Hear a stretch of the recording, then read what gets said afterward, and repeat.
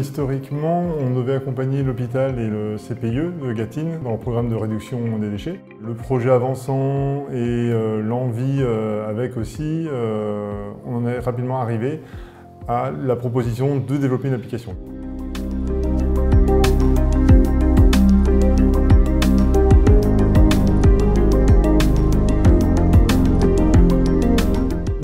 Très interactif, très simple. Une fois qu'on a réalisé son audit, l'objectif c'est bien de créer des simulations qui vont nous permettre de comparer et simuler des changements dans nos pratiques. Donc typiquement, ça va être de baisser par exemple le nombre de repas. Ça va être de descendre de 150 000 à 145 000, 140 000 nombre de repas. Ça va être surtout de simuler par exemple un changement de pratique en baissant le volume de gaspillage alimentaire qui va pouvoir euh, tout de suite euh, nous donner euh, le coût et le volume économisé ainsi.